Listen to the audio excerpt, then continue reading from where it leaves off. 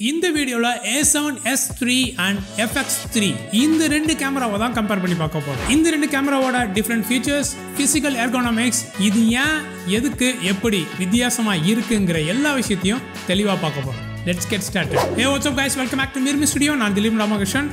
இன்னைக்கு ரெண்டாயிரத்தி இருபதில் ரிலீஸ் பண்ண ஏ செவன் எஸ் த்ரீ அதே ரெண்டாயிரத்தி இருபத்தி ஒன்றில் ரிலீஸ் பண்ண எஃப்எக்ஸ் த்ரீ இந்த ரெண்டு சினிமா கேமராஸ்னு சொல்லிக்கிற இந்த ரெண்டு கேமராவுக்கும் உள்ள நிறையா வித்தியாசங்கள் இருக்குது இந்த ரெண்டு கேமராவிலையும் twelve point one mega pixel BSI CMOS sensor தான் யூஸ் பண்ணுறாங்க பயான்ஸ் எக்ஸ்ஆர் ப்ராசஸர் தான் யூஸ் பண்ணுறாங்க இந்த ரெண்டு கேமராலையும் four K one twenty P without crop எடுக்க முடியும். Raw output sixteen bit raw output இருக்குது ரா ஆட்டோமோஸ் நிஞ்சாவில் தனியாக நீங்கள் செப்பரேட் மானிட்டரில் ரெக்கார்ட் பண்ணிக்கலாம். UHS type two card support இருக்குது CF express type A card support இருக்குது இந்த மாதிரி நிறையா features almost ninety nine percent வந்து எல்லாமே ஒரே மாதிரியான இருக்கிற விஷயங்கள் தான் இந்த ரெண்டு கேமராலையும் இருக்குது பின்ன ஏன் வந்து சோனி வந்து ஏ செவன் எஸ் த்ரீங்கிற ஒரு கேமராவும் எஃப்எக்ஸ் த்ரீங்கிற ஒரு கேமராவும் வச்சிருக்காங்கிற ஒரு தெளிவான வீடியோ தான் இன்னைக்கு பார்க்க போகிறோம் ஸோ ஃபர்ஸ்ட் இதோட ஃபிசிக்கல் ஃபீச்சர்ஸ்னு பார்த்துட்டோம்னா இப்போ நீங்கள் ஸ்க்ரீனில் பார்த்துட்டு இருக்கிற இந்த ஃப்ரண்ட் வியூ இந்த ரெண்டு கேமராலையும் உங்களுக்கு பெரிய வித்தியாசம் கிடையாது. டேரெக்டாக பார்த்தோன்னே சொல்லலாம் ஏ செவன் எஸ் த்ரீயில் மேலே ஒரு வியூ ஃபைண்டர் இருக்குங்க. இந்த எஃப்எக்ஸ் த்ரீயில் வந்து வியூ ஃபைண்டர் கிடையாது. மற்றபடி பெரிய வித்தியாசம் கிடையாது அப்படின்னு சொல்லலாம். ஃப்ரண்ட்டில் எக்ஸ்ட்ராவோ ஒரு அடிஷ்னலாக ஒரு உங்களுக்கு கஸ்டம் ரெக்கார்ட் பட்டன் அதை ரெக்கார்டாகவும் ஃபீச்சர்ஸும் வச்சுக்கலாம் இல்லை கஸ்டம் பட்டனாகவும் வச்சுக்கலாம். அந்த ஒரு பட்டன் உங்களுக்கு இருக்குது மற்றபடி பெரிய வித்தியாசம் எதுவுமே கிடையாது. அதே இமௌண்ட் தான் அதே ஃபுல் ஃப்ரேம் சேம் சென்சார் தான். அதே நீங்கள் பேக் சைடு வியூக்கு நீங்கள் போய்கிட்டீங்க அப்படின்னா உங்களுக்கு வந்து நிறைய வித்தியாசங்கள் பார்க்கலாம். இந்த வியூ ஃபைண்டருங்கிற வித்தியாசத்தை விட்டுருவோமே. வியூ ஃபைண்டரை பற்றி முன்னாடி பேசியாச்சு. நீங்கள் பின்னாடி இருக்கிற ப பட்டன்ஸ்லாம் அந்த ஃபீச்சர்ஸ்லாம் பார்த்துக்கிட்டிங்க அப்படின்னா ஆன் ஆஃப் பட்டன் வந்து எஃப்எக்ஸ் த்ரீயில் லெஃப்ட் சைட் கொடுத்துருப்பாங்க. இந்த ஏ செவன் எஸ் த்ரீயில் டாப்பில் கொடுத்துருப்பாங்க. அது எல்லாருக்குமே தெரியும். இந்த ஏ செவன் சீரீஸ் யூஸ் பண்ண எல்லாருக்குமே தெரியும். அந்த ஆன் ஆஃப் பட்டன் வந்து டாப்பில் உங்களுக்கு ஷட்டர் பட்டன் பக்கத்தில் தான் வச்சுருப்பாங்க. மற்றபடி இந்த ஏ செவன் எஸ் த்ரீயில் இருக்கிற அந்த ஜாய்ஸ்டிக்னு சொல்லுவாங்கள்ல உங்களுக்கு கரெக்டாக கட்டவரல் பக்கத்தில் இருக்கிற அந்த ஜாய்ஸ்டிக் கிடையாது. இந்த எஃப்எக்ஸ் த்ரீயில் அந்த ஜாய்ஸ்டிக் எங்கே போயிருக்குங்கிறத பின்னாடி பார்ப்போம். அதே மாதிரி ஏஎஃப் ஆன் பட்டன் கிடையாது ஏஇ லாக்குன்னு சொல்ல போகிற ஆட்டோ எக்ஸ்போஷர் லாக்கும் இதில் எஃப்எக்ஸ் த்ரீயில் கிடையாது. நிறைய விஷயங்கள் உங்களுக்கு வேறுபடும். கீழே உங்களுக்கு வந்து அந்த டயலில் வந்து உங்களுக்கு பார்த்திங்கன்னா இருக்கிற விஷயங்கள் வந்து கண்டினியூ ஷூட் அந்த மாதிரி விஷயங்கள்லாம் வந்து எடுத்துகிட்டு அந்த இடத்துல ஜீப்ரா தென் கீழே ஷட்டர் தென் பீக்கிங் அப்படிங்கிற நிறைய விஷயங்கள் வச்சுருப்பாங்க எஃப்எக்ஸ் த்ரீயில் எஃப்எக்ஸ் த்ரீ உங்களுக்கு எல்லாமே பார்த்தீங்கன்னா இந்த சினிமா சினிமா சினி லைனில் வர்றதுனால சினிமா கேமராக்கு என்னென்ன தேவையோ அது எல்லாமே இந்த பட்டன் லே அவுட்டில் வச்சுருக்காங்க. அதுவே ஏ செவன் எஸ் த்ரீயில் உங்களுக்கு இந்த ஏ செவன் சீரீஸில் வந்திருக்கு. அதாவது ஃபோட்டோகிராஃபிக் ஃபியூச்சரில் அந்த ஏ செவன் பாடி அந்த எர்கானமிக்ஸில் வந்திருக்கிறதுனால அதுக்கு என்ன தேவையோ அதெல்லாம் ஏ செவன் எஸ் த்ரீயில் வச்சுருக்காங்க. அப்படியே நீங்கள் இப்போ டாப் வியூக்கு நீங்கள் பார்க்க போயிட்டீங்கன்னா உங்களுக்கு நிறைய வித்தியாசங்கள் நீங்கள் இங்கே கவனிக்கலாம். ரெண்டு கேமராலையும் உங்களுக்கு வந்து ஹார்ட் ஷூ இருக்குது மல்டி இன்டர்ஃபேஸ் ஹார்ட் ஷூன்னு சொல்ல போகிற அந்த சோனிக்குள்ள ஸ்பெஷல் ஹார்ட் ஷூ ரெண்டு கேமராலையும் இருக்குது நீங்கள் கவனிச்சிங்கன்னா தெரியும் ஏ செவன் எஸ் த்ரீயில் உங்களுக்கு டாப்பில் உங்களுக்கு டயல்ஸ்லாம் இருக்கும். நிறைய டயல் நீங்கள் பார்க்கலாம். அதுவே நீங்கள் எஃப்எக்ஸ் த்ரீயில் உங்களுக்கு மேலே இருக்க டயல் எதுவுமே கிடையாது. உங்களுக்கு வந்து சும்மா சின்னதாக ஒரு ஃப்ளாட்டாக தான் இருக்கும். இங்கே நம்ம மேலே நீங்கள் தெளிவாக பார்க்கக்கூடிய ஒரு விஷயம் வந்து எஃப்எக்ஸ் த்ரீயில் ரெக்கார்ட் பட்டன் பெருசாக இருக்கும்.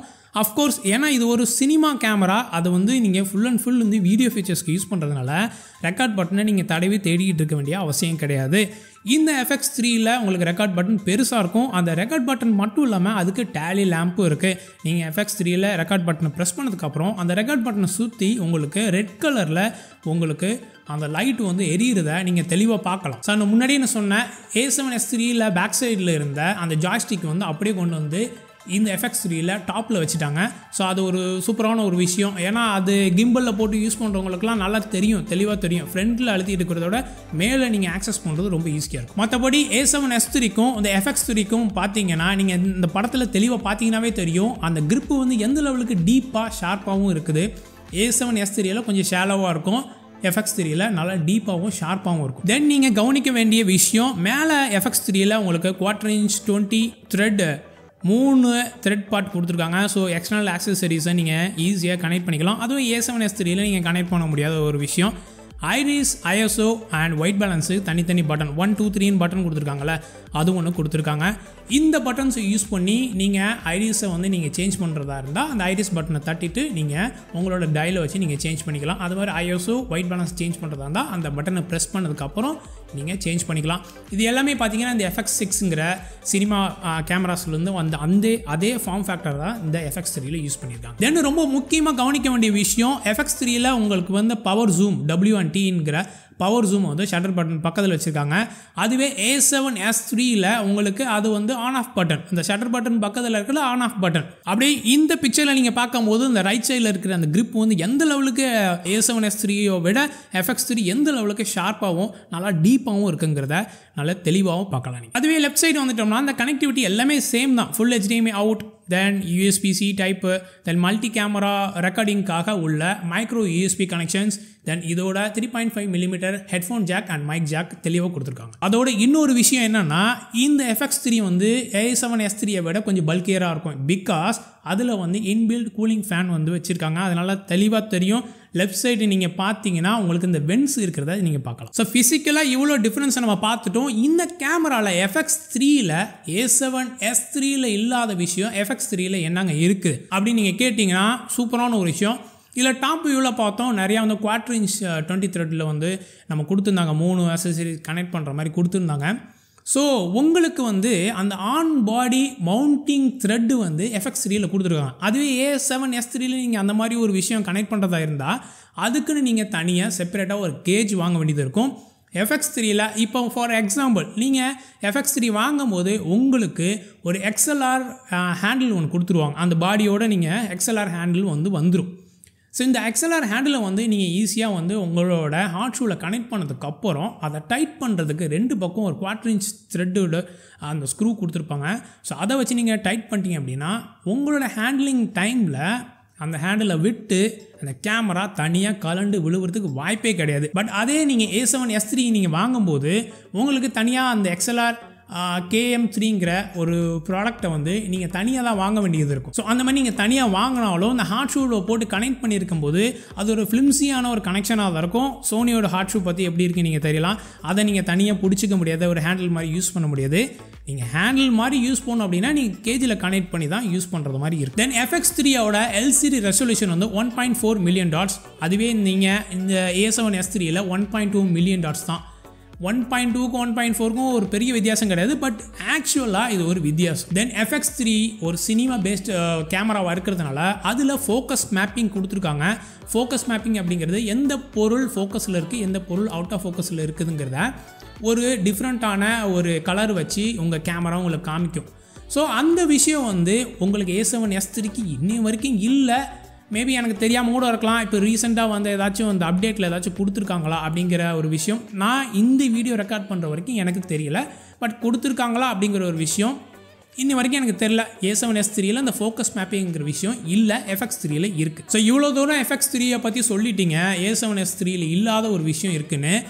எஃப்எக்ஸ் த்ரீயில் இல்லாத ஒரு விஷயம் ஏ செவன் எஸ் த்ரீயில் என்ன இருக்குன்னு கேட்டால் ஒரு ரெண்டு விஷயம் தான் சொல்லலாம். என்னை பொறுத்த வரைக்கும் ஒரு விஷயம்னு சொல்லிக்கலாம். எலக்ட்ரானிக் வி ஃபைண்டர் இருக்குங்க. அவ்வளோதான் வேற ஒரு பெரிய விஷயமே கிடையாது. எலக்ட்ரானிக் வி ஃபைண்டர் இருக்கு தென் ஏ செவன் சீரீஸை யூஸ் பண்ணவங்க. ஏ செவன் ஆறாக இருந்தாலும் சொல்லி இல்லை ஏ செவன் சீரி ஸோ இந்த மார்க் த்ரீ மார்க் ஃபோர் அதை யூஸ் பண்ணவங்களுக்கு ஒரு அதே ஃபார்ம் ஃபேக்டரில் ஏ செவன் ஃபார்ம் ஃபேக்டர்லேயே ஒரு மிரர்லெஸ் சீரீஸ்லேயே வந்தவங்களுக்கு ஒரு சினிமா கேமரா வேணும் அப்படின்னு நீங்கள் நினச்சிங்கன்னா ஏ செவன் எஸ் த்ரீ வந்து சூப்பரான ஒரு சாய்ஸாக இருக்கும்.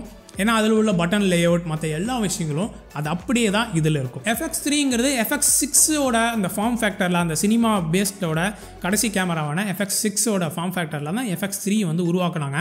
இந்த ஏ செவன் எஸ் த்ரீயில் இருக்கிற எல்லா விஷயங்களும் அந்த சென்சார்லாம் தூக்கி இது உள்ளே போட்டு ஒரு ஃபேனை ஃபிட் பண்ணி எலக்ட்ரானிக் விஃபெண்டர் இல்லாமல் அதில் கொஞ்சம் எஃப்எக்ஸ் சிக்ஸில் உள்ள விஷயங்கள் எல்லாத்தையும் உள்ளே வச்சு இருக்கிற விஷயங்கள் தான் இந்த எஃப்எக்ஸ் த்ரீ கேமரா ஸோ இதுக்கு முன்னாடி பார்த்தோம் இந்த டேலி லேம்ப்னு ரெக்கார்ட் பட்டனை தட்டினா அதை சுற்றி ரெட் கலரில் வரும் அப்படின்னு சொல்லி பார்த்தோம்.